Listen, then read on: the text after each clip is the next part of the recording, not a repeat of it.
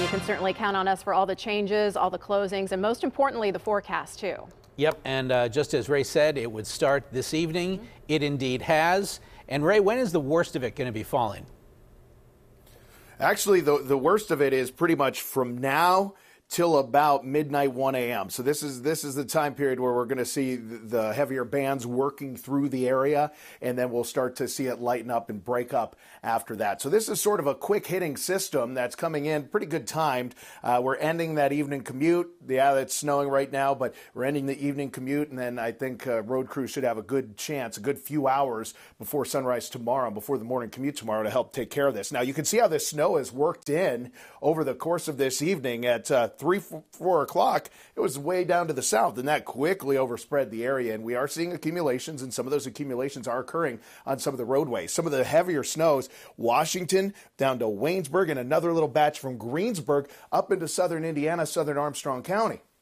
So we have these couple spots where this uh, snow, where you get these darker blues showing up here, is is a little more potent. You get that little stronger band. So as you're traveling uh, up to Burl from Greensburg out to Ligonier, you could run into some of that heavier stuff. And there's a couple pockets of steadier snow down towards Elizabeth, southern Allegheny County, back down towards areas like Charleroi. Now it's a whole lot lighter, where you get the whites and the lighter colors this is where we're having some just very light snow. Uh, New Castle from Beaver uh, back up into the Youngstown area. So nothing too uh, extreme there. And this snow is going to continue to work on through. Now, here's a view of Pittsburgh. This is from the North Shore. It's lightened up a little bit since we last checked in on it, but you can certainly still see some flakes flying there. And that's the same case from Mount Washington looking down towards the point. So I like to play this game. Will it stick?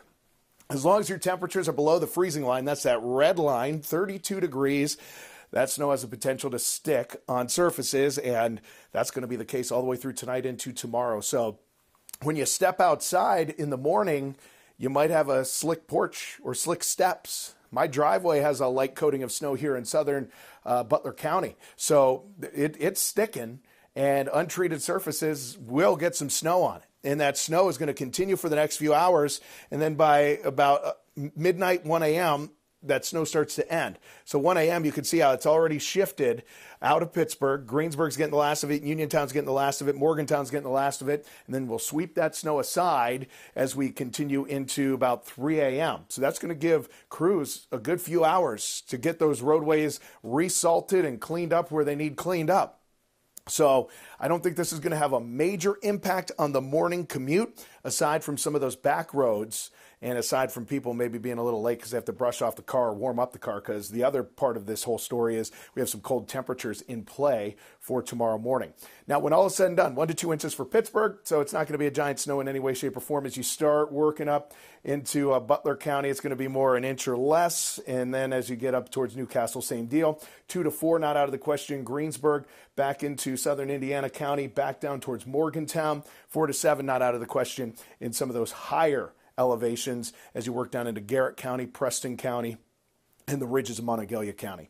Now, 18 degrees for tonight. Cold, single digit wind chills. Tomorrow, we find our temperatures back in the mid 20s for highs. So it's going to be another cold day. But after some early flurries, I think we'll get some breaks for some sunshine. There will be a bit of a breeze, so a bit of a wind chill taking us through. Temperatures come up a little bit for the weekend. Rain and snow on Sunday.